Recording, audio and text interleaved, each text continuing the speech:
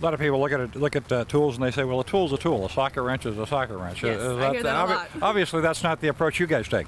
Correct. Uh, you know, we want to make sure that we're rep- uh, represented by a good brand, and Apex owns a lot of great brands. Um, Armstrong and Allen being one of them. They're very well known because of how long they last. I mean, a lot of people come up and say, "Hey, my grandpa gave me this. You know, I've had it for many years." Armstrong's um, Armstrong's actually in their 125th year this year, so it's uh, it's well stood a long time. Talk about innovations. What kind of things? What kind of uh, you know what innovations occur in tools? I know that they do, but uh, but what makes one tool different than another? Um, some of it's by the material that's made, and the others is, you know, like I said, one of the new things that we've come out with is the aviation line. So that's something that we offer that a lot of other people don't. Um, but the, most of it's just how the tool's made and the time and effort and the research and development that we put into it.